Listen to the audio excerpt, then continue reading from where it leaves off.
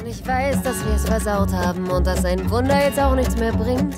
Aber ich weiß auch, dass man die Angst vergisst, die Angst vergisst, wenn man singt.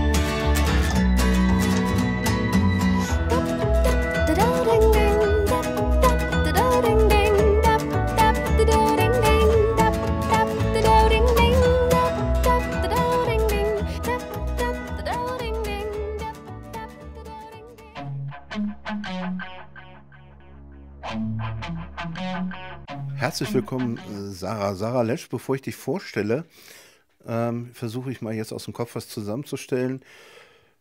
Du kommst aus der, du hast in der schmutzigen Küche über, über Musik und Matrosen gesungen und bist jetzt auf einmal da draußen gelandet. Fühlt sich da draußen schöner an oder liebst du die, mehr die schmutzige Küche? Das, hallo erstmal. Das ist eine tolle Frage, ja. Äh, das finde ich gerade auch noch raus. Also ich, es ist für mich eine ganz krasse Umgewöhnung, weil ich bin sehr jung Mama geworden mit 18 und dann war ich eben viel zu Hause und meine Freunde sind alle studieren und ins Ausland und so. Und ich saß zu Hause und hatte viel, viel Sehnsucht nach der großen, weiten Welt. Und dann habe ich halt angefangen, Lieder zu schreiben und, äh, und habe die aus meiner Küche so per YouTube irgendwie hochgeladen. Ne? Und so fing das alles irgendwie an. War die echt schmutzig? Naja, eigentlich war das so, dass ich damals einen ähm, Musiker hatte, der mit mir zusammen äh, quasi Aufnahmen auch gemacht hat und halt eher professionell so im Studio. Und ich habe dann irgendwann gesagt, du, also mir dauert das alles zu lang. Ich will das jetzt raushauen. Ich mache das einfach aus der Küche mit meinem Laptop. Und dann hat der gesagt, das kannst du doch nicht machen, da ist doch der Sound viel zu schmutzig.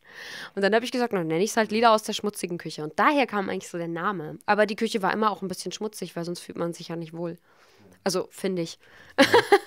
Ja. so. Bevor wir weitergehen im Vorstellen, da ist mir noch was aufgefallen, so rein von außen. Auf der einen Seite, du hast auf der auf deiner rechten Schulter ein Tattoo, so eine Art Windrose, Steuerrad, wenn ich äh, das richtig gesehen habe. Mhm. Du hast auf dem linken Mittelfinger ein Anker tätowiert. Mhm. Meer, Matrosen? Oder wie kommt das? Hast du so eine, reizt sich da irgendwas? Ist das Zufall? Ich will jetzt nicht nach weiteren Tattoos fragen, aber hat das irgendeine Bedeutung? Ist das Zufall? Nein, machen wir heute nicht, nächstes Mal. Also die, äh, die Tattoos ähm, sind genau wie, wie alles, was ich so äh, im kreativen Bereich irgendwie mache, eigentlich rein intuitiv natürlich erstmal passiert. Aber ich habe irgendwie schon eine große Liebe zum Meer und ich bin auch immer sehr, sehr viel am Meer, äh, an der Ostsee halt. Äh, und ja, genau, deswegen vielleicht hat mich das auch einfach inspiriert oder natürlich ist das auch irgendwie sehr romantisch und diese alten Symbole, die, ähm, die bedeuten einfach irgendwie, also das ist für mich so, so was Erdiges, Handwerkliches, diese, diese Seefahrersymbole. Ich mag das einfach gerne. Und diese Tattoos haben auch oft sehr viel mit meinen Liedern zu tun, weil meine Lieder ja auch eigentlich wie ein Tagebuch sind. Genauso ist, sind meine Tattoos irgendwie auch wie, wie ein Tagebuch oder keine Ahnung. Ne? Das sind so Lebensabschnitte, wo ich halt heftige Dinge erlebt habe und dann gab es ein Tattoo oder vielleicht auch ein Album. Spannende Geschichte. In meinem Leben gibt es dann Tattoos oder Alben. Das wird spannend. Ja. Ne? ich glaube, wir sollten mit Jennifer Rostock drüber reden. Stimmt, aber ich weiß gar nicht, wie viele Alben die schon hat, aber Tattoos ich glaub, hat sie auf Tattoos, jeden Fall schon ein paar mehr. Tattoos, ja. ja. Streichen wir. Nein, streichen wir nicht. Ähm, Ach, hallo Hund, du wirst dich ganz ruhig in die Ecke. Äh, stell mir doch nochmal. Kannst, nicht, kannst, kannst du unseren dritten Interviewgast? Komm, sag mal Hallo. Genau. Wer ist das? Das ist Beetle, meine Hündin. Die ist noch ein Welpe und gerade sehr aufgeregt, weil sie war gerade eine Woche bei, äh, bei der Hundesitterin. und jetzt, äh, ja, hat sie wahrscheinlich Angst, dass ich sie hier lasse oder so. Ne? Ich bereite mich ja immer an dem vor, was ich über dich höre, was ich über dich lese. Und ähm, du gibst auch Antworten in Interviews, aber es ist immer schön zu fragen, was du selbst denkst, was du fühlst. Musikalisch, Du spielst viel mit Konstantin Wecker zusammen aktuell oder hast gespielt? Ist das richtig? Stand natürlich wieder, äh, ja. habe ich gelesen. Ach, was da immer steht. Also ja, ich habe mit, äh, ich habe, also ich habe nicht mit Konstantin Wecker zusammen gespielt, sondern das war meine Kollegin Cynthia Nikschas, die ist richtig mit ihm auf Tour gegangen und hat, war auch sogar seine Gitarristin. Und ich äh, durfte aber zwei oder dreimal als, ähm, als Gast einen Song da spielen. Also er hat mich eingeladen, als Gast zu ihm zu kommen und einen Song zu spielen. Faszinierend. Also, liebe Kollegen, es lebe die gute Recherche. das ist ja der Knaller. Aber musikalisch Konstantin Wecker, äh, Konstantin Wecker welche Ecke würde es dich tun? Ist gar nicht so weit weg, oder? Nee, das ist auf keinen Fall weit weg. Ähm, also ich, was mich sehr inspiriert hat, als ich angefangen habe, oder was so, was so meine Herzensliedermacher zu der Zeit waren, waren tatsächlich äh, Gerhard Schöne und äh, so Degenhardt und Reinhard May und ähm, aber zum Beispiel auch Dota Kehr oder Fanny van Dannen. Äh, die fand ich total toll und so wollte ich auch sein und so wollte ich auch schreiben. Das war irgendwie, oder Bettina Wegner zum Beispiel, ne? Und später sind mir dann so ähm, natürlich noch viel mehr begegnet. Also, ähm, also zum Beispiel Gundermann, der ja auch sehr bekannt ist und den man eigentlich kennen sollte. Aber wir hatten unsere Zeit erst, erst so vor zwei Jahren, da habe ich erst mich richtig mit Gundermann beschäftigt möchte ich gleich zu kommen. Ich möchte vorher noch ein bisschen springen und weil das ist ja ein ziemlich großes Feld, wenn wir da ja. richtig reinkommen, um das zu beackern. Du hast viele Vorbilder genannt, jetzt vom Textlichen her oder von den Inhalten her. Und wieder Interviews. Element of Crime, habe ich ja gehört, hat ja sehr gut gefallen, das Musikalische, der Sound, wie die Sachen ja. rüberbringen. Das hat dich beeinflusst. Was ist so toll und was findet sich in deiner Musik wieder, dass das so richtig schön fließt? Oder was fasziniert dich an Element of Crime? Was sind die Elemente, die du übernommen hast? Hoffentlich keine Kriminellen. Nee, also es ist ganz, ganz schwierig. Ich kann das gar nicht so, also professionell beschreiben kann ich es nicht. Manchmal ist es genau wie wenn wir, wenn wir zusammen arbeiten äh, irgendwie und eine Platte machen, dann ist es immer so, ich bin ja totaler Autodidakt und ich sage dann immer, na, das muss so, so schrammelig sein, weißt du wie? Und dann muss der, natürlich, der sich auskennt, dann sagen, na, was meint sie denn jetzt? Meint sie jetzt irgendeinen Effekt oder, ne, und dann muss man das erstmal rausfinden. Und an Element of Crime ist es eigentlich, was ich beschreiben kann, es hat einfach ein Lebensgefühl. Element of Crime, wenn man das hört, dann ist es so ein, das hat so einen Charme, so einen Schrammelcharme, so ein Lebensgefühl und es hat so eine, so eine großartige, erdige Klarheit und gleichzeitig eine Poesie, dass einem das Herz aufgeht und man heulen könnte. Ne? Und so eine Alltagsromantik, die ich total gerne mag. Und es hat halt nichts nötig. Also es ist nicht zu glatt. Das mag ich einfach. Also so würde ich es würd jetzt vielleicht beschreiben. Das, das ist, was mir so daran gefällt. Und die E-Gitarren und so, na klar, die Trompeten, das ist einfach schön. Also das ist mein Ding irgendwie. Ja. ja. Das spiegelt sich in deinem Sound wieder. Jetzt kommen wir zu den, zu den Texten mit einem kleinen Vorschritt. Protestsongs. Das ist ja so etwas, was immer äh, so, womit man dich charakterisiert. Sind es denn Protestsongs oder sind es einfach nur Dinge, die dir auffallen? Willst du protestieren oder schreibst du einfach, weil du, weil du das Schreiben liebst, das Wort liebst? Hast du das Ziel zu protestieren oder ergibt sich das einfach? Ähm, also tatsächlich ist die Musik eine, eine Sache in meinem Leben, die ich entdeckt habe an mir, die einfach ähm, aus mir raus muss, damit ich überhaupt überleben kann. Das ist für mich wie Atmen. Und ich habe, das ist die einzige Sache, wo ich tatsächlich kein Ziel habe. Also ich habe kein Ziel, ich habe keine Absicht. Man würde das heutzutage den Flow nennen. Ich mache das einfach in dem Moment, äh, um es zu machen. Weil es richtig ist. Weil es sich so anfühlt. Schlicht, weil es sich so anfühlt. Und für die Dinge, für die ich keine Worte habe, finde ich Lieder. Ja. Und, ähm, und wie, also mein, mein Kollege Bastian Band hat es mal ganz schön gesagt. Er sagte, er schreibt sich die Lieder, die ihm fehlen. Also für Sachen, wo es noch keine Lieder gibt, wo man denkt, aber das Gefühl, was ich jetzt habe, dafür gibt es noch keinen Song. Dafür hat Element of Crime noch nichts geschrieben und Reinhard Meinig. und da, äh, da finde ich irgendwie dann einen Kanal und da, da, das ist eben die Musik oder die, die Poesie, ja. Und ähm, ich habe ich hab eigentlich immer nur von mir selber gesprochen oder von Menschen, die ich kenne. Ähm, ich würde, klar habe ich manchmal so das Gefühl, ach, da könnte, da könnte man ja auch mal was drüber sagen, wenn ich so Nachrichten gucke oder so. Ich würde super gerne mal ein Lied über dieses oder jenes Thema schreiben. Aber ich, ähm, ich erwarte das nicht von mir, sondern ich warte einfach mal, ob mir da was begegnet, was mich so sehr berührt und so sehr betrifft, dass ich dafür ein Lied schreiben muss, ja. Ich würde jetzt nicht einfach so, weil es jetzt gerade angesagt ist, über irgendein Thema ein Lied schreiben, außer es betrifft mich tatsächlich so nah emotional, dass ich wirklich was dazu zu sagen habe.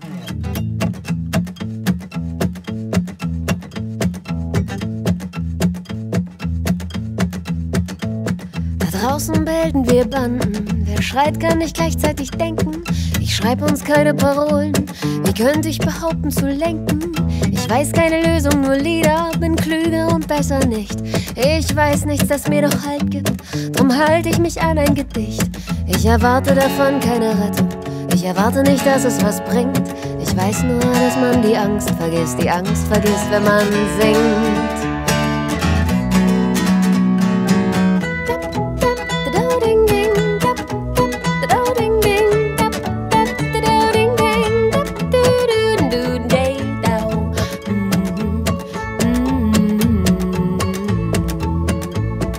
Weiß, wenn wir reden vom Frieden, dann sind wir schon längst im Krieg. Ich weiß das, weil ich es spüren kann. Das ist alles, was mir blieb. Ich hab keine Worte, nur Tränen. Für die meisten ist das nicht viel. Ich weiß nicht, wem ich noch glauben kann. Also glaube ich meinem Gefühl. Und ich weiß, dass wir es versaut haben und dass ein Wunder jetzt auch nichts mehr bringt. Aber ich weiß auch, dass man die Angst vergisst. Die Angst vergisst, wenn man singt.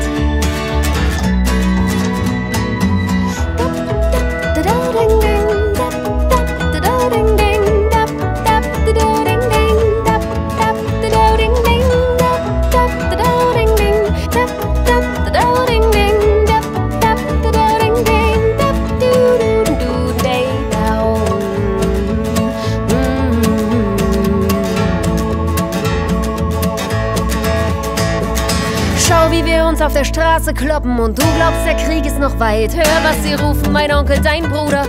Hör genau hin, dann weißt du Bescheid. Wer wütend ist, ist nicht wachsam und sieht nicht, was wirklich passiert. Wer Angst hat, fängt an zu beißen. Wer sich hilflos fühlt, funktioniert.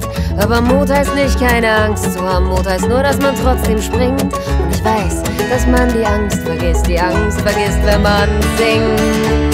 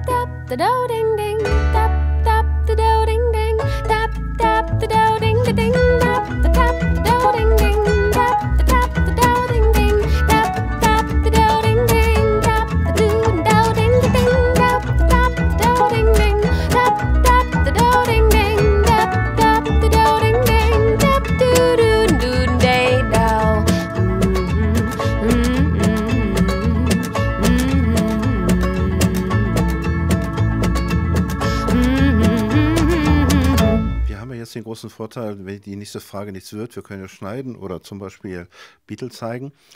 Ähm, ich würde doch gerne nachhaken, weil wenn Menschen mir sagen, du hast eine Vorstellung, die habe ich nicht immer, das ist ein anderes Bild. Deswegen, was wäre so ein Song für dich oder gibt es, sind das alle Songs, die du geschrieben hast, wo du einfach Gefühle ausdrückst, die es vorher noch nicht gab? Gibt es da irgendwelche Songs, die du benennen könntest? Also, ähm, Du meinst jetzt die Lieder, die es noch nicht gab, also ein Gefühl betreffend, dass es noch nicht gab. Genau, genau also zum Beispiel ähm, das, das Beispiel, weil ich auf der Bühne davon immer so erzähle, fällt mir das jetzt als erstes ein, ist das Testament zum Beispiel, was ich geschrieben habe, ähm, wo ich immer so, so Gefühle hatte, also so als Mama damals und auch als Erzieherin und im Bereich, so wo ich gearbeitet habe mit Kindern und, und, und überhaupt, wenn ich mir Menschen angeschaut habe und wenn ich mich selber angeschaut habe, dass ich oft so eine Wut hatte und, und dachte, ach, naja, okay, also dafür hat ja Reinhard May schon tausend Songs geschrieben und so. Und, und irgendwann habe ich aber gemerkt, dass das bleibt immer noch und ich habe eigentlich immer noch nicht so richtig den Punkt daran gefunden. Äh, also das, das waren so mehrere Jahre, in denen ich so Situationen gesammelt habe, die dann dieses Lied inspiriert haben. Ne? Weil ich dachte, aber wir sind eine ganz eigene Generation nochmal und wir müssen unsere eigenen Songs singen. Und ich, ich meine, Reinhard May hat tausend schöne Sachen geschrieben, in denen ich mich wiederfinden kann und, und so und die auch ähnlich sind vielleicht. Oder Bob Dylan, ja, äh, zum Beispiel auch und, und die mich dann auch wieder inspiriert haben. Ich dachte, Bob Dylan hat das auch schon erzählt. Dann kann ich das vielleicht in meiner Version auch erzählen. Und ich bin aber Sarah und sitze in der Küche und bin Mama. Und, und ich kann was ganz anderes erzählen, weil ich bin einfach ein anderer Mensch. So. Und ich habe einen anderen Hintergrund. Und ähm, und da zum Beispiel habe ich auch gedacht, doch, du musst dein eigenes Lied schreiben. Und es ist auch okay, auch wenn du denkst, das haben schon tausend andere besser gemacht. Das, das ist blöd, so tief zu stapeln, weil jeder ist wichtig und jeder in seinem Alltag ist wichtig. Es gibt nichts Kleines und nichts Großes eigentlich. Ich musste gerade über mich nachdenken. Und es hat mich jetzt erstaunt, dass du gesagt hast, das haben schon tausend andere gemacht, dass du darüber nachdenkst, weil ich bin mir der Typ, da habe ich jetzt Bock drauf, das will ich machen und dann mache ich das. Mhm. Und äh, ist einfach ein Bedürfnis. Da mhm. hätte ich mhm. jetzt bei dir drauf getippt. Das hat mich gerade mhm. so ein bisschen erstaunt, dass du wirklich noch das, das hinterfragst. Ja, total. Also ich habe nicht so, also was das angeht, ähm, ich, also ich mache die Musik halt, weil ich es liebe und deswegen kann mir da auch nie was passieren, weil ich nichts erwarte davon. Aber ich bin halt, wie gesagt, Autodidakt und war in der Schule eher so, ähm, nicht so gut äh, in Musik oder so und hatte eben nicht diesen Hintergrund, also keine künstlerisch veranlagte Familie. Also väterlicherseits schon, aber den habe ich. Der war weit weg. Der war weit weg, ganz genau. Und ähm, Genau, und in der Schule war das halt eher so, oder dann später auch, als ich angefangen habe, Musik zu machen, dass die Leute gesagt haben, hi Mädel, du kannst nicht singen, lass es lieber bleiben, gell? Und so, und ich habe auch nie irgendwelche Wettbewerbe gewonnen oder ich konnte nie gut Gitarre spielen. Und deswegen bin ich da eher immer sehr schüchtern und denke immer so, hm, naja, also jetzt natürlich nicht mehr, weil jetzt merke ich natürlich, dass das, was ich tue, dass ich was zu erzählen habe, dass die Leute da gerne hinhören und sagen, ja, mir geht's auch so. Und es gibt mir natürlich wahnsinnig viel Mut und ganz viel Kraft. Aber ich habe da schon eine Weile gebraucht, um dieses Selbstvertrauen zu entwickeln. Auf jeden muss Fall. ich wieder an ein Interview, muss ich mich wieder an ein Interview entsinnen, wo du sagtest, es gibt immer so Glitzersterne und dann will ich da auch hin. Das will ich. Das heißt, du hast eine Idee, du siehst irgendwas und dann willst du das auch erreichen. Denn das war nicht Glitzersterne, ich erinnere mich. Genau, das, so waren, das waren, da geht eine, ein Fenster im Kopf auf oder eine neue Tür auf und man kann auf einmal, hat man eine Vision von irgendwas und kann eine Idee erkennen oder, oder so. Das war das, glaube ich, ne? Mit den Fenstern. Ich weiß es ehrlich gesagt mhm. nicht mehr, das ist so en passant gewesen. Ich dachte nur, irgendwas war da, da war was mit Glitzern. Ich gucke nachher mal nach. Aber es ist mhm. egal, aber letztendlich ähm, spricht das für sehr viel Selbstbewusstsein auf der einen Seite, zu sagen, das sehe ich, da will ich hin. Kann ich das mhm. so formulieren? Darf ich das formulieren? Darfst ja? du formulieren, ja. ja das ja. finde ich irgendwie sehr toll. Das ist ja sehr ehrgeizig. Jetzt, mhm. Ehrgeiz ist ja auch was Positives. Mhm. Nur wenn er übertrieben ist, wird er neg negativ. Und das fand ich eine sehr starke Aussage. Und jetzt hast du mir die Augen auskratzen. Ich habe gedacht, irgendwo ist eine sehr zielstrebige Frau, aber auf ihre Art auch süß. Das ist jetzt auch positiv gemeint. Ne? Ja, das, das, zu vereinbaren ist ja nicht immer, leicht. Du bist auf der einen Seite offensichtlich sehr zielstrebig. Mhm. Obwohl du ganz locker, laissez-faire oder nur einfach den Flow hast. Auf der anderen Seite hast du schon konkrete Vorstellungen von den Dingen. Ja, das stimmt. Das war mir auch über mich selber gar nicht so bewusst. Also ich ähm, ja, ich meine, das ist, kennt bestimmt jeder, dass man manchmal so ein Selbstbild hat und, und wenn man dann Leute fragt, sagen die auf einmal so, was ich nehme dich überhaupt nicht so wahr. Also wir haben das zum Beispiel im Team, äh, wenn wir miteinander quatschen, haben wir das fast täglich, dass wir über solche Dinge sprechen, dass ich zu meiner, zu meiner äh, Kollegin irgendwie sage, hey, du machst das und das so toll und sie sagt, was, das habe ich gar nicht so wahrgenommen irgendwie. Und bei mir war das auch so, dass ich das gar nicht, mir gar nicht klar war, dass ich sehr viel Durchhaltevermögen habe und sehr zielstrebig bin und dass ich da auch manchmal irgendwie ähm, äh, einen, ja, weiß ich nicht, lieben Menschen brauche, der mir immer auf die Schulter klopft und sagt, hey, pack mal dein Pausenbrot aus und genieß die Aussicht, das hast du echt gut gemacht. so, ne? Weil hilft, man von sich selber immer, ja. Hilft dir nicht am meisten dein Sohn dabei, der dich zwangsweise entschleunigt. Du bist ja verantwortlich, du musst dich um ihn kümmern und du musst dich entschleunigen. Ja, genau. Also der hat, das ist zum Beispiel auch so eine Sache, das hat mir wahnsinnig geholfen und hat mich auch immer sehr inspiriert. Und trotzdem dachte ich immer, oh, ich möchte noch mal, ich hatte ja nie diesen Ausbruch, so dieses alleine leben oder mal in eine WG ziehen oder so oder so, äh, total, äh, ja, weiß ich nicht, einfach nur mal nach mir gucken. Das hatte ich ja nie, sondern ich bin daheim ausgezogen, direkt mit meinem Kind schon und war dann Mama. Das heißt, ich habe immer gedacht, oh, die anderen haben es bestimmt alle total toll und das ist doch so klasse, wenn man einfach machen kann, was man will und immer auf Party gehen und so. Und ähm, jetzt äh, ist es so, dass seit letztem Jahr September mein Sohn gar nicht mehr bei mir lebt, sondern bei, bei seinem Papa weil der halt äh, ein sehr konservatives Leben hat und auf dem Land lebt und das ist einfach toll für die beiden und, und es war einfach jetzt so besser, weil ich ja ständig auf Tour bin und ähm, was übrigens auch sehr schade ist, dass ich eben mit Schulkind dieses Leben nicht so leben kann. Das funktioniert nicht, zumindest nicht, wenn ich alleinerziehend bin. Äh, und da habe ich dann ganz heftig gemerkt, wie krass das mir fehlt nicht nur, weil mein Sohn mir als Mensch fehlt, weil er ein wundervoller Mensch ist, der sehr, sehr viel Humor und Freude in mein Leben bringt, sondern auch, weil dieses Mama-Sein ähm, mich eben automatisch entschleunigt hat und ich eben, weil ich so zielstrebig bin und so viel will, manchmal auch dazu tendiere zu sagen, ja, also jetzt, jetzt kann ich ja noch das machen und dann kann ich ja noch das machen und so. Und das wird mir dann relativ schnell zum Verhängnis. Und da hilft das natürlich. Man denkt erstmal, oh, jetzt kann ich heute das gar nicht mehr erledigen. Jetzt gehen wir noch in den Park und müssen Fußball spielen spielen. So, und dann schaffe ich das ja gar nicht mehr. Und dann merke ich aber plötzlich, dass mir das selber eigentlich auch gut tut. Ne? Und dass ich das eigentlich genieße. So. Und dafür habe ich ihn gebraucht. Und jetzt gehe ich gerade auf eine Reise zu mir selbst, indem ich rausfinde, wie kann ich mich eigentlich selber entschleunigen. Ne? Und versuche mir dann so immer ähm, vorzunehmen, auch mal nichts zu tun und äh, denke dann immer an Astrid Klappt Lindgren. Das? Klappt das? Ist schwierig, aber es klappt immer besser. Also ich habe jetzt eine Weile gebraucht so und äh, aber ich denke dann immer an Astrid Lindgren, die, die so einen Spruch hat, äh, ganz schön. Äh, man muss ja auch noch Zeit haben, auf einer Bank zu sitzen und in die Luft zu starren. Ne? Und äh, das stimmt, da muss man Zeit für haben. Das ist ganz wichtig. man erlebt so geile Dinge, schön das zu sagen, man erlebt so geile Dinge man muss die Zeit haben, sich darüber zu freuen und zurückzulehnen und mit den Freunden darüber zu reden ja. und, und, und, und, ah. Mhm. und dazu muss man mal durchatmen. Ja. Ich merke das selbst, wenn es so tak, tak, tak geht, dann sammelt sich das an, du bist fertig und das, das, was eigentlich das Geschenk ist an dem Ganzen, was wir tun dürfen, du auf einer anderen Ebene als ich oder auch ich, das, das geht dann manchmal so verloren. Und dieses Glück, diese Freude, das ist für mich das Entscheidende an den Berufen, die wir jeweils haben. Das ist ja auch ein Geschenk. Es ist ein Geschenk, ja. das, zu tun, das tun zu dürfen, was man liebt. Mhm. Du singst gern, du bist gern auf der Bühne und du darfst das tun und du darfst deinen Lebensunterhalt davon bestreiten. Das ja. ist unglaublich toll. Mhm. Zu den Texten wollte ich noch kommen. Jetzt nochmal einen kleinen Ablauf. Natürlich müssen wir auf Leipzig kommen. Leipzig ist ja wichtig und es ist ja gleichzeitig ein Radiointerview, wo Second Radio ausgestrahlt wird, dann hier auf DRB Plus. Und da müssen wir natürlich ein bisschen Werbung für Leipzig machen da draußen über die Platte reden wir, über die Texte. Warum du in den Osten wolltest, mhm. müssen wir auch noch ansprechen. Aber was mich viel mehr interessiert, sind in Häkchen deine Kinder, weil du hast die Platten als deine Kinder bezeichnet. Mhm. Da fand ich was sehr Schönes.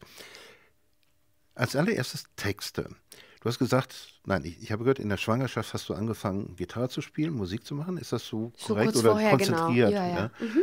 Genau. Und äh, Hormone verändern einen. Mhm, das stimmt. Na, ich habe vorher leidenschaftlich getanzt ja. und das ging dann nicht mehr. Und dann habe ich einen anderen Kanal gehabt. Ja. Ne? Irgendwie, da musste ich mir irgendwas anderes suchen, was ich Hast du das bewusst, diesen Schritt? Hast du gesucht, was kann ich jetzt machen? Oder, nee, also oder ergab ich, sich das? Mm, nee, das ergab sich. Also ich habe ähm, getanzt, seit ich klein war. Ich glaube, ich habe mit fünf Jahren schon angefangen und ich habe es geliebt, auf der Bühne zu stehen. Ja. Ne? Wir hatten auch eine sehr strenge Tanzlehrerin, die uns immer, immer Auftritte verschafft hat und ich stand immer ganz vorne in der Mitte, weil ich die Kleinste war und habe mir halt angewöhnt zu performen, weil wenn du ganz vorne stehst, kannst du bei den anderen keine Schritte abgucken. Und wenn ich mich vertanzt habe, habe ich einfach immer so getan, als wenn es genau richtig ist.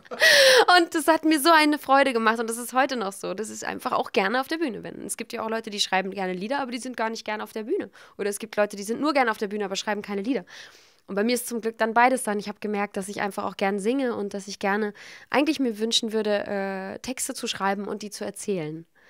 Und dann musste ich die Gitarre dazu nehmen, weil so, so lang zuhören beim Labern, das ist schwierig. Da legt Jetzt man lieber ein paar Akkorde drunter. Nachfragen. Du warst also landschaftliche Tänzerin und dann musstest du damit ja aufhören. Ja.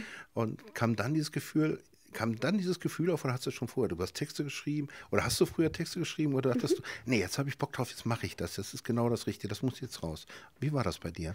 Also ich habe vorher auch schon Texte geschrieben, aber ich habe da gar nicht, äh, also nicht so hm, wie soll ich mal sagen, ich dachte nie, dass ich gut bin. Ich dachte immer, ach, ich schreibe da halt so ein bisschen in mein Tagebuch Gedichte rein und so. Und ich glaube, das machen wahrscheinlich viele, viele Jugendliche, dass sie halt ihre Gefühle, weil da hat man ja auch irgendwie echt Baustelle im Kopf und so viele Dinge, die man irgendwie sagen will. Und dann weiß man aber noch nicht, kann ich den Freundinnen vertrauen und dieses ganze sich sozial im Gefüge finden. Und dann schreibt man Tagebuch. Und so war das bei mir eben auch. Und dann hatte ich ein Gedichtbuch, das habe ich heute noch, das trage ich ganz viel mit mir rum. Ich trage sowieso immer irgendein Gedichtbuch mit mir rum. Das ist von Erich Fried, so ein kleines Reklamheft. Und der schreibt ja so ganz einfach. Ne? Also wer Erich Fried nicht kennt, von dem ist zum Beispiel dieses Es ist, was es ist, sagt die Liebe. Das kennen ganz viele. Und der schreibt ja so schön einfache, naive Sachen, die ganz, ganz sinnig und klug sind und sehr, sehr romantisch auch. Und da habe ich dann gedacht, ah, so kann ich mir auch vorstellen zu schreiben und habe das dann so ein bisschen nachgemacht und dann irgendwann so meine eigenen Sachen gefunden. Und wenn ich heute meine Tagebücher lese, dann denke ich, Mensch, Sarah, da hast du ganz viel schon geschrieben und gewusst was du heute eigentlich auch wieder in Lieder gepackt hast. Da hast es nur ganz vergessen, dass du das irgendwie mit 14 auch schon mal gewusst hast von dir, dass du so denkst. Hast du eigentlich jetzt in moderner Zeit immer noch eine Art Buch bei dir, wo du deine Gedanken aufnotierst oder ja. sprichst du ins Handy? Du magst es also handschriftlich. Genau, beides. Also ich habe äh, das Handy auch dabei. Äh, ich habe das Handy irgendwie immer dabei, weil ich ein ganz ist halt meine Generation auch. Da bin ich auch ein Suchti einfach. Ich bin immer gerne erreichbar. Ich liebe äh, ich gebe es zu, ich liebe WhatsApp. Man kann da so drauf quatschen und dann kann man sich das anhören, wann man will. Das finde ich total geil. Und genauso mache ich das auch mit, mit meinen äh, Texten, weil ich gehe nämlich zum Beispiel super gerne joggen und dann habe ich immer ganz viele Ideen und dann hat man ja kein Notizbuch dabei. Und dann äh, mache ich das einfach über WhatsApp, habe ich so eine Gruppe, die heißt Der Kreativshit. Habe ich mit einer Freundin zusammen, die äh, Romane schreibt. Und wir sch schmeißen da immer alles rein, was uns einfällt. Und dann zu Hause, wenn ich mich dann an meinen Tisch setze oder in eine Kneipe setze, in die Ecke und äh, romantisch den Text zu Ende bringe, dann mache ich das auch mit meinem Notizheft und schreibe das dann rein und habe das auch natürlich immer in meinem Rucksack, weil ich es einfach romantisch finde. Ja. Ganz kurz für die Zuschauer, ihr könnt es nicht sehen, aber Beadle stiehlt uns die Show. Mein ganzes Team ist auf ihn fixiert. wir merken gar nicht mehr, dass wir hier reden. Das ist irgendwie total lustig. Eine Frage überspringe ich, springe ich jetzt, weil wir wir reden so viel, wir kommen mit der Zeit überhaupt nicht mehr hin. Der Entschluss, in den Häkchen in den Osten zu gehen, wie kam, kam das zu dir? Leipzig, weil du Familie hast, wenn ich das richtig verstanden habe. Aber warum wolltest du Tübingen, nicht Thüringen, war das? Genau, das Fiel war mir Tübingen, wieder ein. Ja, ja früher, früher Thüringen, Tübingen. Und wie kam es dazu, dass du hierher wolltest? Ähm, das hatte ganz viele Gründe. Also mein, mein Vater, den ich ja nicht oder mit dem ich nicht aufgewachsen bin, sagen wir es mal so, den kannte ich nur aus dem Fernsehen. Der war auch Musiker und äh, wir hatten leider keinen Kontakt. Aber seine Mama, meine Oma Edith, die hat mich oft besucht und die hat mir auch immer mal ein Gedichtbuch äh, gegeben oder hat mir das so ein bisschen ähm, so diese kreative Ader irgendwie in mir so wachgeküsst. Und zu der hatte ich sehr guten Kontakt. Und meine Tante lebt noch hier und meine Familie sind ja auch irgendwie Ossis und die sind da zwar mit mir ins Schwabenland gezogen, aber ich habe immer gemerkt, wir sind irgendwie anders als die Schwaben.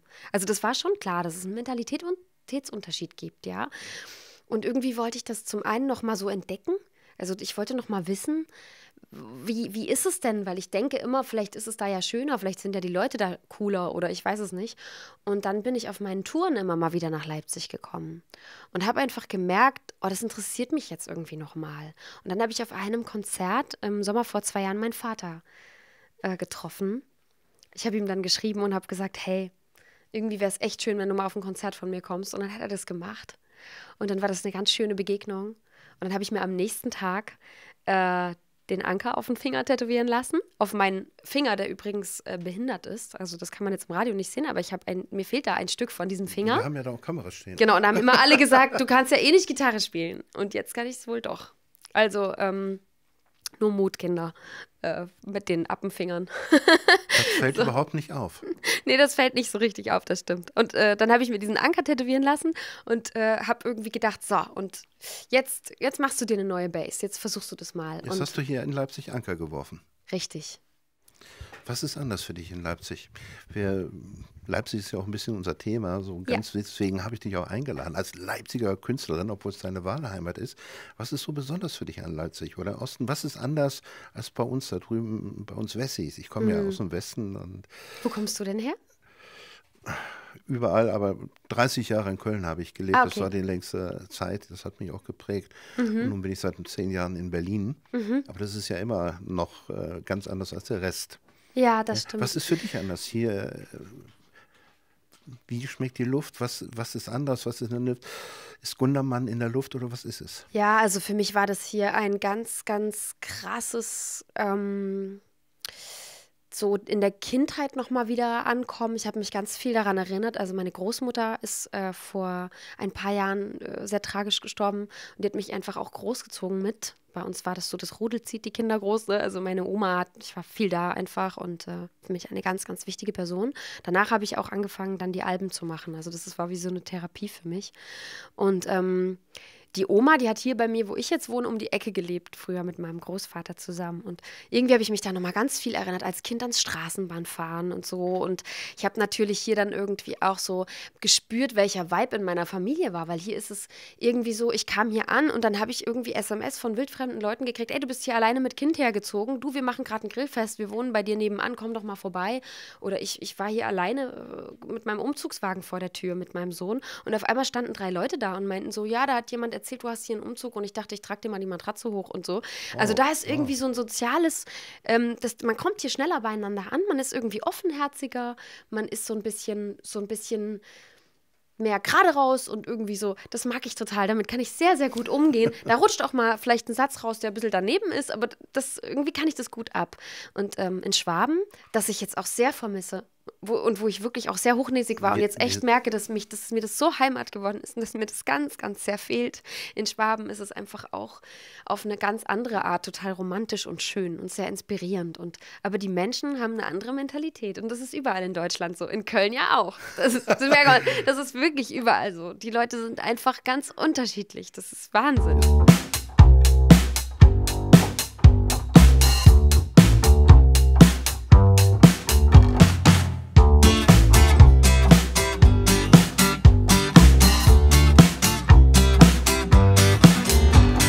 Lass Hockertassen und Teller stehen, nimm nur deine Flausen mit. Da kommt ein Schiff, das auf uns wartet. Jetzt halten wir nicht mehr Schritt. Der Text weiß immer zuerst Bescheid und das Drehbuch ist längst gemacht. Wer heute Rettung von unseren Schlafliedern will, schimpft umsonst in die Nacht. Wo's blutet, machen wir Reime drauf und den Fleck kriegen wir wieder raus. Reise, Reise, mein Liebster, heute wandern wir aus. Und überhaupt, wer Rettung von uns erwartet, ist ganz allein daran schuld. Und überhaupt, wer Rettung erwartet, braucht neuerdings viel Geduld. Und wenn sie fluchen und hauen nach uns und sich nachher dafür wieder schämen, wir sind längst auf und davon gebraust mit diesem Esel und dem Hahn Richtung, na du weißt schon. Und wir rennen über glühende Kohlen, Hand in Hand mit Schuhe aus. Reise, Reise, mein Liebster, heute wandern wir aus.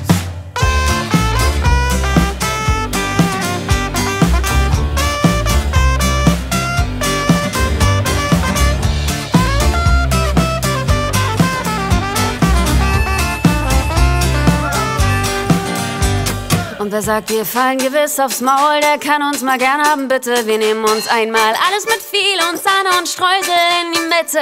Und der Himmel soll unser Kompass und die Rohrspatzen Schnuppe sein. Und ein Bus mit rotzigen Melodien fährt über die A9. Wo's schön ist, machen wir Kreuzchen, wo wir küssen, da ist zu Haus. Reise, Reise, mein Liebster, heute wandern wir aus.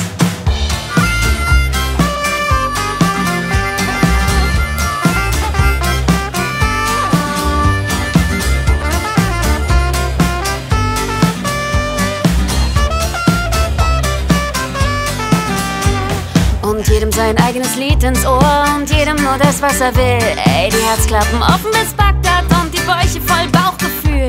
Bezahlt haben wir doch schon lange und lass dir nichts anderes sagen. Und jetzt gönn dir und lass dir die Locken wachsen und hör auf, um Erlaubnis zu fragen.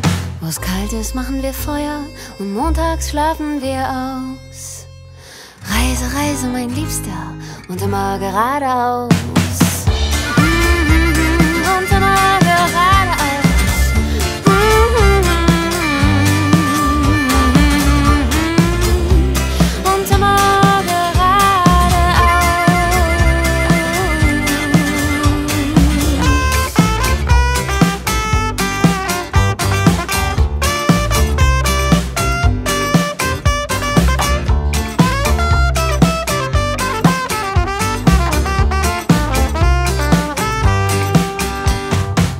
Wünschen und wollen und klettern bis über den Tellerrand und weiter. Reise, Reise, mein Liebster! Reise, Reise, Räuberleiter.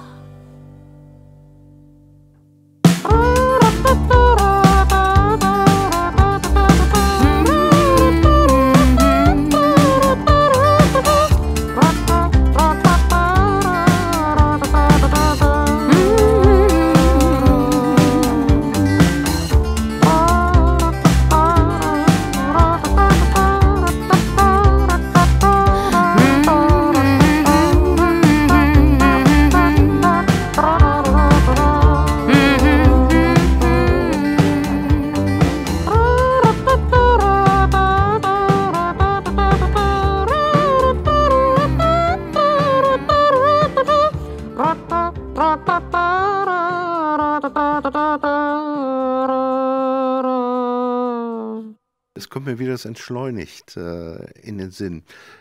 Jetzt sage ich mal Westen, es ist einfach so, wir haben viele Werte vergessen, die hier noch, die es hier noch gibt. Ich weiß nicht, wie es bei der übernächsten Generation sein wird, weil es wird ja alles eine Melange, das vermischt sich ja alles.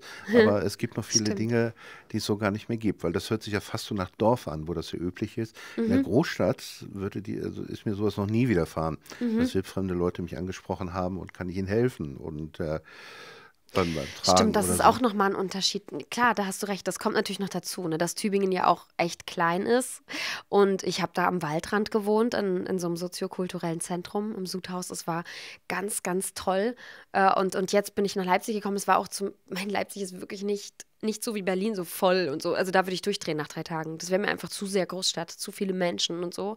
Da ist ja Leipzig wirklich, ey, diese Seen und diese Parks und es ist so grün und so, so leer noch, ne? Es ist ja wirklich hier echt harmlos und trotzdem war es mir am Anfang echt viel, dass es eine Stadt ist, ne? So, das war einfach, war einfach viel für mich Ja. irgendwie. Du hast zuletzt, du hast zuletzt über die Hilfsbereitschaft gesprochen hier in Leipzig. Und du hattest mal Gundermann erwähnt und diese Texte, sind die auch damit hochgekommen? Hast du dich damit befasst? Mhm. Ja. Oder und haben sich deine Texte seitdem auch verändert? Aus deiner Sicht, dann, weil es sind ja auf jeden Fall andere Einflüsse. Ähm, ja. Ja, auf jeden Fall. Also jeder Einfluss verändert einen natürlich. Also das, das ist ja immer so, das mal ganz generell. Aber natürlich ist zum Beispiel die, die Musik und gerade die Liedermacher im Osten, also auch Gerhard Schöne zum Beispiel, hat ja eine völlig andere Art zu schreiben, als das ein Rolf Zukowski hat oder ein Reinhard May oder so. Es ist ja völlig unterschiedlich, weil, weil Gerhard Schöne ja zum Beispiel ganz, ganz viel in Bilder packen musste. Das geht, geht ja gar nicht, ging ja gar nicht anders. Aber weil, wo man Dinge nicht aussprechen darf, da muss man irgendwelche Bilder dafür finden oder Entsprechungen. Und deswegen ist die Sprache eine völlig andere, auf jeden Fall. Und Gundermann ähm, habe ich dann entdeckt durch Bastian Band, den ich zu der Zeit eben auch kennengelernt habe. Wir sind ja auch ein gemeinsames Programm gefahren und hat auch viel an meinem Album dann hier mitgearbeitet und so, der auch äh, viel Gundermann gecovert hat. Wir haben uns eben kennengelernt äh, auf einem Festival in Südthüringen und da hat er mir vorgespielt, das war mein zweitbester Sommer. Das hat Bastian mir vorgespielt, einfach abends bei einem Glas Wein und ich dachte, wow, ist das toll. Und dann habe ich das erste Mal so Gundermann entdeckt. Und es ist mir natürlich auch aufgefallen, dass ich schon vieles von ihm auch kannte. Aber äh, ja, das war dann schon für mich auf jeden Fall, ähm, der hat mich sehr, sehr berührt mit seinen Texten und sehr bewegt und durch, durchaus auch beeinflusst, auf jeden Fall. Hast du auch angefangen, Bilder zu nutzen? Weil eigentlich bist du ja sehr direkt gewesen bis dato. Hast du angefangen, Bilder zu nutzen? Hat sich das in dieser Hinsicht verändert? Oder was ist, was du von ihm dir so genommen hast? Nee, Bilder habe ich schon immer benutzt, weil ich ja auch, es gibt ja auch bei mir im Leben Dinge, die ich vielleicht nicht so aussprechen möchte, wie ich sie. Ne? Also, Ich müsste jetzt ja fragen, was, aber tue ich ja nicht. Nein, lass, lass, lass. Bilder Gundermann. Okay, dann also, frag nicht. Äh, ähm, ich würde eher sagen, dass Gundermann in mir Sachen ausgelöst hat, die ich dann gemacht habe. Also was ich, was ich ganz deutlich äh, weiß, ist, dass ich durch äh, in Tübingen durch meinen Wald gejoggt bin, da wo ich gewohnt habe. Und dann habe ich auf dem Ohr mir eine Gundermann-Platte angehört und äh, da habe ich das äh, Lied gehört. Ich habe keine Zeit mehr. Äh, das war dieses letzte Konzert in Jena, diese Live-Aufnahme habe ich mir da angehört. Und, äh, und da singt er, ich habe keine Zeit mehr im Spalier herumzustehen. Und äh, ich, ich dachte so, oh Gott, äh, du hast keine Zeit mehr. Wenn du, wenn du jetzt noch irgendwie, wenn du das jetzt willst, dann mach das jetzt. Und dann habe ich halt auch, das war so die Zeit, in der ich halt beschlossen habe, den Osten zu erkunden und einfach zu sagen, jetzt ziehst du weg, jetzt, jetzt machst du das. Und dann weiß ich noch, dass ich heim bin und habe zu meinem Sohn gesagt, hey, wollen wir, hast du Bock mit mir nach Leipzig zu, zu gehen? Und ich dachte, der, ich dachte, der sagt, bist du verrückt, Mama? Weil unsere ganze Familie ja da unten wohnt. Wir haben hier ein übelstes Patchworks-Konstrukt. Ja, ich dachte, nur, der, der kriegt eine Macke, wenn ich jetzt sage irgendwie. Und dann hat er gesagt, oh ja, Mama, das machen wir. Und der fand das ganz toll. Der, der hat da, das war einfach für den irgendwie auch ein ganz aufregendes Abenteuer, so nach Leipzig zu ziehen. Und, äh, und dann kam eben der Song Reise, Reise, Räuberleiter und so. Und das ist alles auch sehr, sehr geprägt von diesem, das klingt, auch wenn man das anhört, das Lied, dann hört man sehr deutlich, das hat so einen Ostcharme. Also finde ich schon. Auch die Sprache, die ich da verwende und so. Genau, und da muss ich aber sagen, hat mich fast, also von der, von der Liedsprache her, hat mich fast da mehr Bastian Band beeinflusst. Im Schreiben, also was für Anlehnungen ich benutzt habe und was für Bilder und so, als jetzt Gundermann. Den habe ich nämlich zur gleichen Zeit entdeckt. Also das war, war irgendwie, ist, kann man auch immer so nie so genau sagen, weißt du, das fließt ja auch so ineinander über irgendwie. ja, das ist wieder so ein Gedanke, den ich habe, wenn ich dir zuhöre. Haben Lieder äh, dich öfter dazu gebracht, etwas zu machen? Mhm. Lieder sind pure Emotion. Ja. Und das ist jetzt das Gefühl, was ich habe, dass du eben ähm, sehr ansprichst auf Emotionen, auch sehr emotional wirkst, im Positiven. Das ist für mich ja nichts, Neg das ist nichts Negatives. Und haben dich Lieder öfter dazu gebracht, Dinge zu tun? Ja, auf jeden Fall. Also ich glaube, dass Lieder ganz oft Leuten, das, also es ist ganz, ganz oft so, dass man irgendein Gefühl hat, aber man hat keine Worte dafür. Und dann äh, kann man sich vielleicht in manchen Situationen auch nicht verteidigen oder auch nicht sagen, nee, aber ich bin doch richtig, weil man noch keine Worte dafür hat. Und dann hört man einen Song und dann denkt man auf einmal, ja, ich weiß genau, was der beschreibt. Der hat Worte gefunden für mein Gefühl oder die halt, je nachdem. Und so mir, ging es mir dann eben auch ganz oft. Und dann hat man aber plötzlich den Mut, für sich auch einzustehen, weil man sagt, ja, das, ich bin ja nicht der Einzige und jetzt habe ich Worte dafür, wie sich das für mich anfühlt. Und das ist zum Beispiel etwas, das ich auch ganz oft gespiegelt bekomme. Also ich kann das ja kurz erzählen. Ich ein ganz schönes Beispiel. Ich habe eine Nachricht bekommen, neulich über Facebook von, von jemandem, äh, der mir geschrieben hat, äh, mein Song da draußen da kommt ja der Satz drin vor, Mut heißt nicht, keine Angst zu haben. Mut heißt nur, dass man trotzdem springt. Der kommt von meiner besten Freundin. Äh, und die, der hat mir dann geschrieben, dieser Mann, dass er halt äh, transsexuell ist, also dass er festgestellt hat, dass er eigentlich als Frau leben möchte. Und das hat er jahrelang verheimlicht und hatte keinen Mut, das zu sagen. Und er hat aufgrund dieses Songs hat er sich getraut, das seiner Frau zu sagen.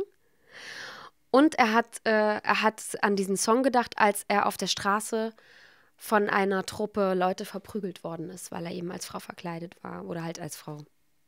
Ich sage also, weil er das Frausein gelebt hat, sagen wir so. Er war ja nicht als Frau verkleidet, sondern er hat es natürlich dann ausgelebt. Und er wurde verprügelt und er hat gesagt, das hat ihm die Kraft gegeben, auch auf diese Menschen nicht mehr wütend zu sein und das wirklich für sich aufzustehen und einzustehen. Und ich habe so geweint. Das hat mich, ich glaube, also da bin ich ein paar Tage lang rumgelaufen, wie wie frisch verknallt vor lauter, vor lauter Glückseligkeit, dass mein Lied sowas ausgelöst hat. Das hat mich so glücklich gemacht. Und genauso ist es natürlich, dass das. Ähm, hey, ich meine, irgendwie Axel Rose hat mir eine Idee davon gegeben, dass ich vielleicht irgendwann mal Musik machen kann. Oder ja, weil es den gab, gibt es mich jetzt auch. Und das, das hat nie keinen Einfluss. Well done, Axel. genau. Eigentlich bringe ich ja immer ihn immer mit, also mit Drogen in Ver, in Verbindung, aber musikalisch gab es ja auch mal eine Zeit. Und da war dieses komische Spaghetti, der Spaghetti-Unfall, ja, genau. der mir so viele Probleme bereitet. Genau, ja, genau. Hast du noch Zeit, Musik zu hören überhaupt? Mm, ja, also ähm, ich höre auf jeden Fall sehr viel Musik. Also verhältnismäßig. Ich habe Kollegen, die hören gar keine, weil es wirklich, äh, weil sie sagen so, nee. Ich bin aber da auch, ich verstehe das ganz gut, ich bin da auch sehr vorsichtig. Also wenn jemand zu mir sagt, ah, ich muss dir mal eine neue Musik zeigen, dann sage ich ihm erstmal, ah, warte mal und so, weil das immer alles gleich beeinflusst. Und da merke ich immer, da bin ich dann so, das hat alles seine Zeit und ich spüre ganz genau hin, will ich mich jetzt damit befassen, mit diesem Künstler oder nicht. Und wenn ich das gerade will, wenn ich das ranlassen kann, wenn das gerade die Zeit dafür ist, dann beschäftige ich mich sehr gerne mit Musik, auf jeden Fall. Ja. Womit hast du dich zuletzt beschäftigt, musikalisch? Jetzt muss ich mal gerade überlegen, was habe ich als letztes entdeckt für mich. Also gerade komme ich ja von der Tour und da muss ich sagen, ich habe ja zwei ganz wundervolle Begleitmusiker, die selber auch Musiker sind und Lieder machen. Und die kriegen bei mir dann äh, immer, die, die machen den Support oder halt einen Gastauftritt. Und wir hören im Auto dann ganz oft deren CDs auch. Und zuletzt habe ich mich beschäftigt mit einem von den beiden, Lukas Meister. Der andere ist Benny Benson. Und der Lukas Meister hat gerade, der schreibt gerade neue Songs, er schreibt an seinem neuen Album. Und ähm, ich liebe einfach, was der macht. Äh, und ich finde auch, dass er ganz oft so die Worte findet für, für die Sachen, die wir so alle, also die, die ich auch eben spüre. Und wir erleben ja ganz viel. Wir fahren jetzt schon fast ein Jahr zusammen und irgendwie ähm, haben wir uns zuletzt mit seinen Songs beschäftigt, weil er uns äh, was vorgespielt hat im Backstage, was ganz neu geschrieben war. Also ich entdecke gerade das neue Album ja. von Lukas. So, da, da ja. das ist gerade, was ich auch am meisten höre. Ja. Mhm. Songs, Songs, Songs sind gerade relativ oft vorgekommen. Und eine Frage, die ich natürlich stellen muss. Wo passieren bei dir die Songs? Ich habe schon gehört, du, du, hast auf irgendeiner Toilette auf der A9, einer Darmtoilette, einen Song. Reise, Räuberleiter, habe ich da geschrieben, genau. So, einen Song geschrieben, ja. äh, weil hat man wohl einen Moment Ruhe. Na, da, das ist, äh, genau, man ist ja den ganzen, man ist ja. immer nur auf der Autobahn und wo, und dann wird man immer gefragt, wann schreibst du? Ich schreibe, wenn ich irgendwo hinkomme, wo ich denke, hier fühlt sich wie zu Hause an. Hier ist ein Küchentisch, der ist ein bisschen ranzig und es ist so ein bisschen, ne, so und dann, dann kommt so die Inspiration. Und wenn ich, äh, wenn ich äh, drei Jahre lang nur auf der Autobahn unterwegs bin, wo fühle ich mich zu Hause? An der Raststätte, ist doch ganz klar, weil du bist 20 Mal am Tag mit so einer Erbsenblase wie ich habe, bist du 20 Mal am Tag an der Raststätte. Und dann fällt dir halt da auch ein Song ein. Oder beim Autofahren fällt mir auch manchmal was ein. Und wenn ich dann, äh, wenn ich dann an die Raststätte komme, dann nehme ich natürlich das Handy mit und dann, oh, jetzt muss ich das schnell eintippen, so ne. Oder halt reinsingen was ich, was ich geschrieben habe, damit ich es nicht vergesse. Daher kommt das. Ja. Jetzt kann ich meine Frage ja gar nicht stellen, schöne Erinnerungen, weil du hast ja gerade eine wunderbare Erinnerung geschildert schon. Aber schöne Erlebnisse, kann, doch, gibt es vielleicht noch irgendwas anderes?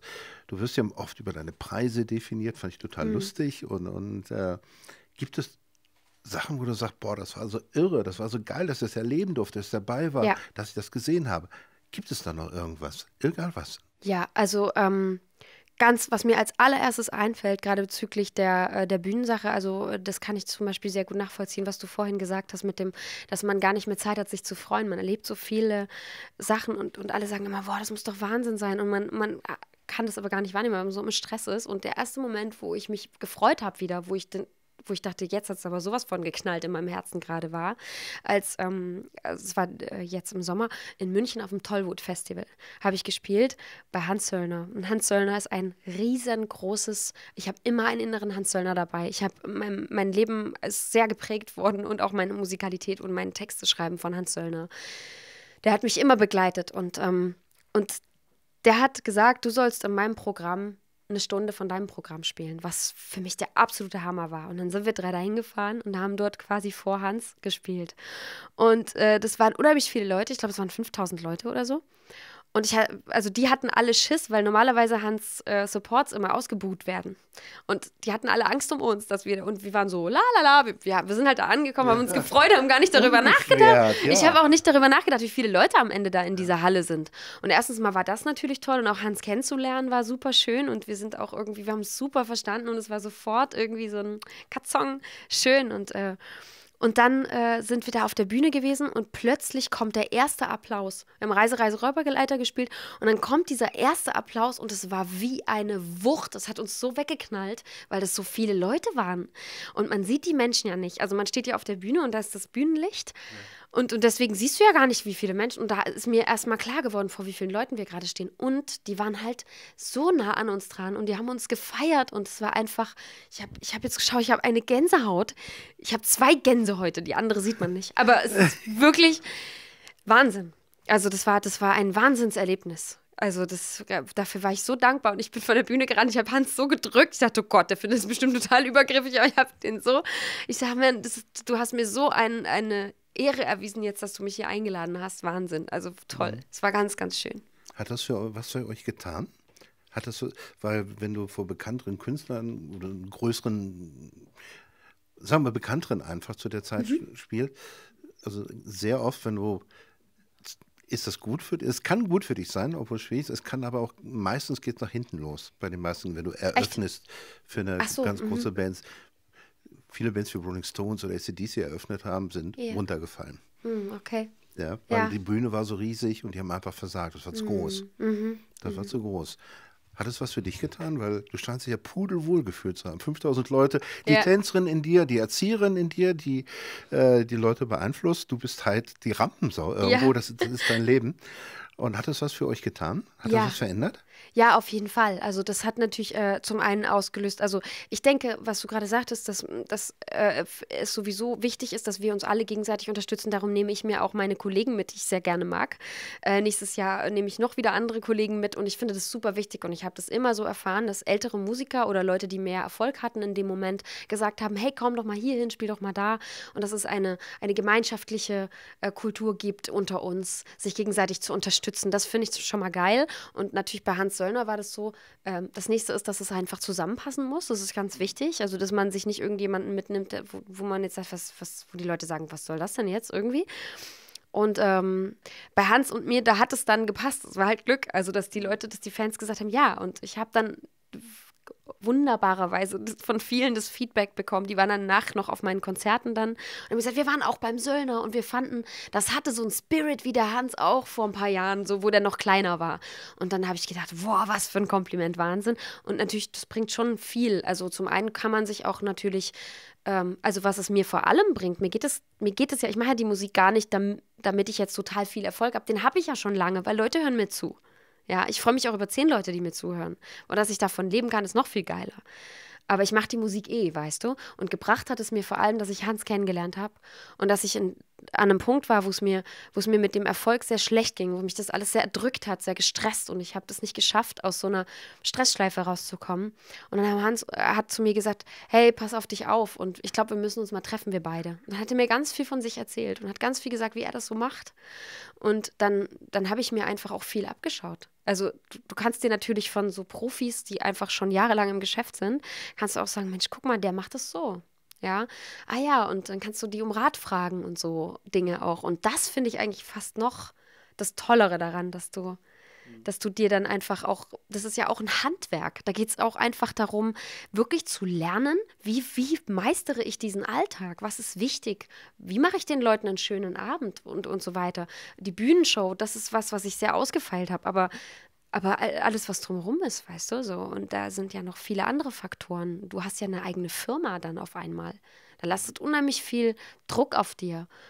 Wer soll das verstehen, außer ein Kollege, dem es genauso geht? Also, und das ist toll, wenn sich da zwei so Irrlichter äh, im, im Dunst der äh, der, äh, ja, dieser Welt irgendwie begegnen und sagen, ach, du hier, ah ja, dir geht's auch manchmal ja. so, okay, alles klar, dann bin ich nicht total gestört, weißt du? So. Ja. Du mhm. bereitest mir ein bisschen Bauchschmerzen. Einerseits würde ich mich total gern noch mit dir unterhalten, andererseits haben wir schon so lange geredet. Das ist immer so, wenn man. Und ich denke, sagen sie alle. Ich frage noch so eine ganz blöde Frage, die ich ja liebe, immer zu stellen. Und dann heben wir uns das fürs nächste Mal auf. Und zwar, du bist Musikerin, Töne sind sehr wichtig für dich. Mhm. Ja? Und jetzt geht es einfach darum, egal woher dieser Ton kommt, ob es, äh, egal was es ist, ob es ein Akkord ist, ob es eine Tonnatur ist, gibt es einen Ton, der dir ein, zwei, drei Gänsehaute macht, der, der, der dich wohlig erschauern lässt. Gibt es einen Ton, den du liebst? Ob es das, das Rufen eines Kindes ist, ob es irgendwas in der Musik ist oder irgendwas, gibt es so etwas für dich? Ich muss mal nachdenken.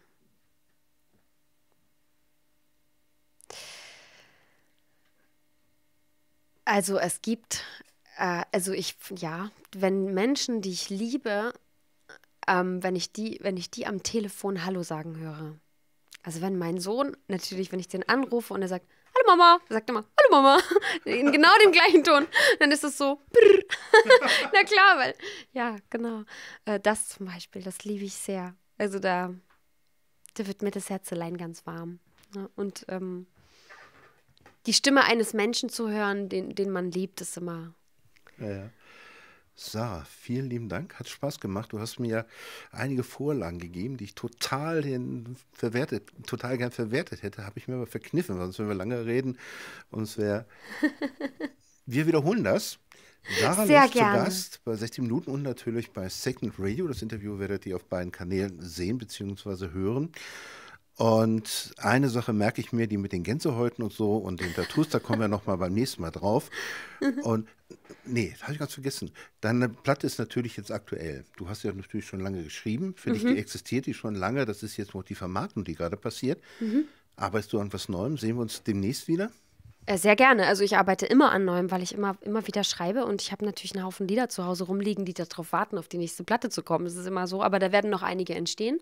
Und im Moment ist es natürlich auch aufregend für mich, auf der Bühne jetzt meine eigenen Songs zu entdecken oder wenn, wenn da mal ein Flügel steht und dann, ach komm, heute spielen wir es mal am Flügel und dann gucken wir mal, was dann passiert. Und die sind noch nicht zu Ende und werden jetzt nur vermarktet, sondern natürlich ist das Vortragen und die Lieder entdecken am, an der Resonanz der Menschen auch was total Aufregendes. Aber es gibt immer neue Songs, Deine auf jeden Kinder Fall. werden erwachsen, ne? Ja, genau, so. genau. So, vielen lieben Dank. Ich danke dir auch. Bis zum nächsten Mal.